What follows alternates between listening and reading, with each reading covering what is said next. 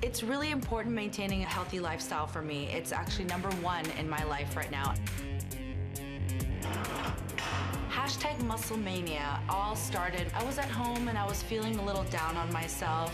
I wanted to change my life. I wanted to do something dramatically different with my workout. I knew that I wasn't working out properly and that something had to change.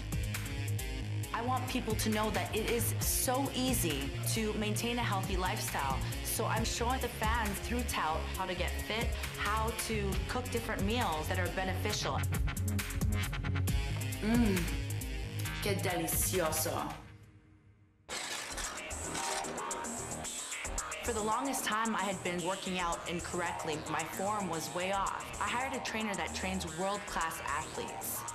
My workout is very non-traditional because I do extremely heavy lifting. I think most of the divas are trying to get leaner and just maintain what they have. I am trying to gain as much muscle as possible. So I'm basically training like a John Cena would or a Ryback would. I'm lifting as heavy as possible and I'm exceeding my body's expectations. Today my workout consisted of doing legs.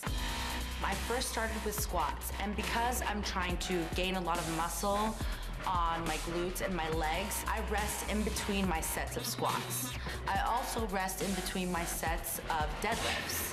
In between my sets of the split squat and the leg curl, I'm trying to lean out those areas, so I do a little circuit there. My body is also working its cardiovascular activity as it's hitting those muscles that I'm trying to lean out.